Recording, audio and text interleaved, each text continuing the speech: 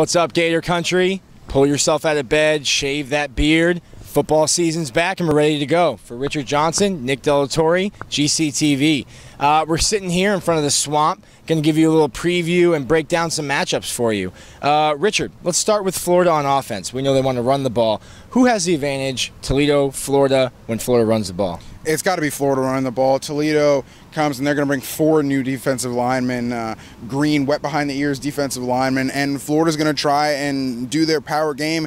The extent of running in between the tackles will remain to be seen. You know, there's no Matt Jones, and and and they might not be able to go through the tackles as much with Mack Brown, uh, maybe as they'd like to, but they still will have an advantage in the run game. It'll be very interesting to see how Clay Burton does in blocking at the tight end position. That's something that wasn't there last year a lot with Jordan Reed. He just wasn't really a blocker. He's definitely more of a receiver. So it'll be interesting to see how Jordan Reed steps into that uh, that tight end role and, and, blocks, as well as catching down the field in, in the vertical passing game, because uh, Clay Burton is not that great of a, uh, a receiving tight end. Um, one of those linemen that you're talking about just turned 18 last Sunday, so not only are they inexperienced, but they're very young as well. Uh, this is not the kind of environment that you want to have your first college experience in uh, if you're on the opposing team. Uh, I have to agree with you. I think Florida, even without Matt Jones, Florida's going to pound the ball. Um, it'll be nice to see what Tyler Moore can do at right tackle very excited to see what Max Garcia can do. We've seen some very good things out of him in practice. Uh, so I again got to tip the tip the cap to Florida there in the running game. What about when Toledo runs? They use a spread uh, a spread offense, but that term is so broad these days. You've got the kind of spread that Urban Meyer ran here at Florida, where it's a lot of run, a lot of run, a lot of run. You've got a Texas Tech, Texas A&M spread, where you're trying to throw the ball 50 times a game.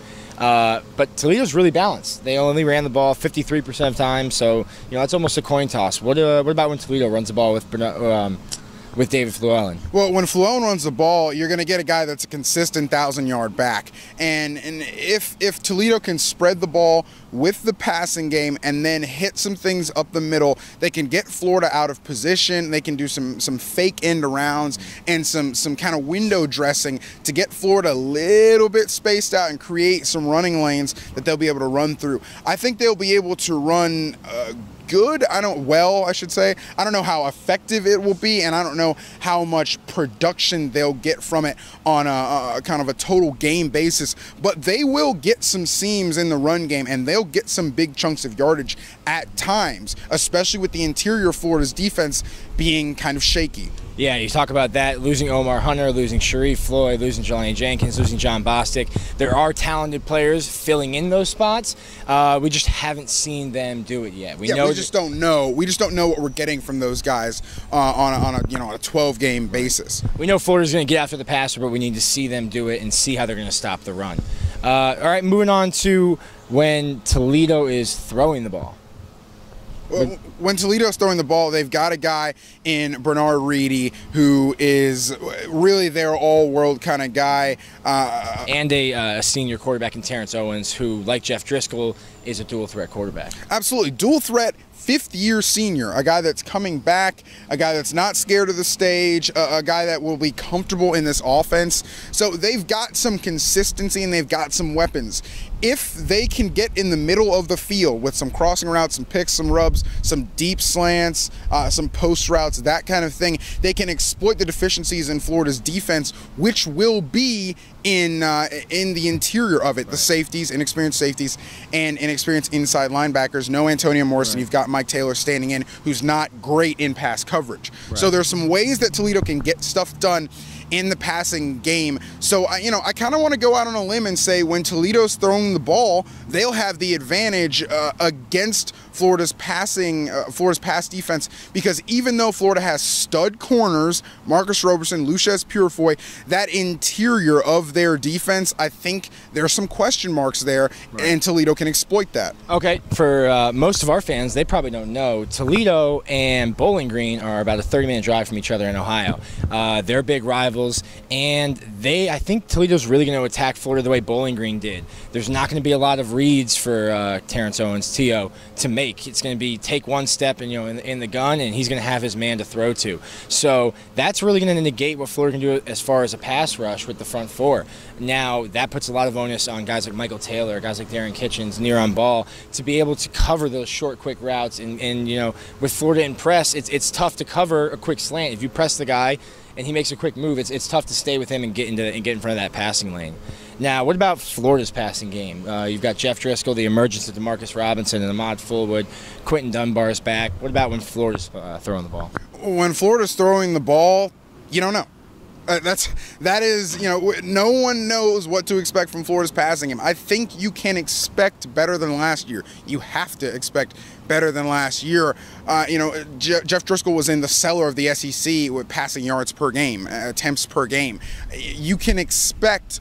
Uh, Florida to be a bit more productive. They've talked about second year in Brent Pease's office, offense, more familiarity. Uh, they're trying to get more vertical. There are things you can expect like I said, you just don't know what you're going to get. So I think that I think that Florida is going to be a bit more proficient in the passing game this year, and I think you'll see it. I think they'll take some deep shots on Saturday, and you'll actually see kind of. Demarcus Robinson, Quinton Dunbar down the field in man coverage, uh, using their physicality and, and their size to their advantage. Right. I think a lot of that is going to have to go down to if Florida can get a little bit of a lead early. I know you don't want to run the score up, but if Florida can get a comfortable lead, you can start trying to mess around with some of those things. Last year, the Bowling Green game was so close for so long that Will Muschamp went into defensive mode. Just let's win the game and let's start pounding the rock. And Will Muschamp doesn't care if the, if the win is sexy. He just wants to win. Exactly. Florida's going to do what it takes to win this game. If they come out and they realize, hey, the passing game's not clicking, we're going to do what we did against LSU. We're going to pound the rock two dozen times in a row. They don't care. Mm-hmm. Yeah. So I think I think the familiarity of being in the offense two years in a row.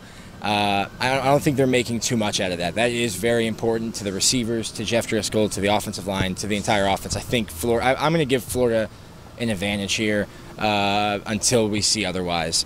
Now, let's go with the place kicking game. Uh, Florida just announced that Austin Hardin, a redshirt freshman, is going to be taking over the job. And uh, Toledo has a guy in Jeremiah Detmer, who's going to be a senior this year, has 17 straight field goals made dating back to last year, uh, was 5 of 5 against Cincinnati when they upset a ranked Cincinnati team last year. Who are you giving the edge here? I'm going to go with Toledo the edge here. Now, that hasn't been the case with Caleb Sturgis of Florida. And that's why I'm going to give Toledo the edge. You know, Austin Hardin it's not a shot at Austin Hardin to say he's not going to be or to predict he's not going to be Caleb Sturgis this year. That's not even you know discounting the guy. Caleb Sturgis 24 of 28 was maybe the best offensive weapon Florida had last season and an insurance policy if anything else. Right. This year you got Hardin stepping in, redshirt freshman, never kicked in a game, you know, there's there's things that make you kind of uneasy as a Florida fan about Florida's place kicking game. So you know, I'd have to give the edge to Toledo. You got experience coming back. I think they, uh, I think they're gonna get the check mark in that column. Okay, I'm gonna also go the, uh, go the Toledo route just until we see Hardin. Uh, you know, he's got a strong leg. He kicked a 58 yarder in high school to win the game, and that was off the ground. In high school, you can use a tee, but he kicked it off the ground 58 yards. So he's got a leg. We just need to see him do it in front of 88,000, not in front of a thousand in a high school game. But I really want to see with Austin Hardin is what happens if he misses the first one. Right. Especially maybe he maybe it's not a 50 yarder. Maybe Florida's in especially close. with Brad Phillips right behind him. Does that get into his head? Yeah, maybe maybe it's in close. Maybe Florida gets it down to the 20 25 yard line mm-hmm. and and Hardin's got to kick a 30 yard chipper and it gets blocked or it hits off the goalpost. What happens with Austin Hardin? Does he go in the tank? Does he kind of, you know, kick himself no pun intended. Kick, kickers kick himself, kickers can be head cases, so it will be interesting to see what he does if he misses his first one. Uh, what about going into the punting game? I think this is going to be unanimous. You don't bet against Kyle Christy. Never. Cal Christy is, you know, he's a, a very talented punter, uh, fifth nationally in uh, in yards per punt last season. Proven factor. You know what you're getting with Cal Christy. He's going to flip the field whenever Florida is in trouble. And in our last category, we're going to go intangibles and coach. And I know where I'm going with this. Intangibles, orange and blue, playing in the swamp. Uh, and and coach uh, Matt Campbell, Toledo's head coach, is actually the youngest coach in FBS at 33 years old. So I'm going to go ahead give this edge to Florida, playing at home in front of the fans. Uh, won 23 straight games to start the season in this building, uh, and uh, got to give the edge to Florida there. Yeah, uh, Florida gets the edge in this game. Florida's a better team, okay, and, and we know that.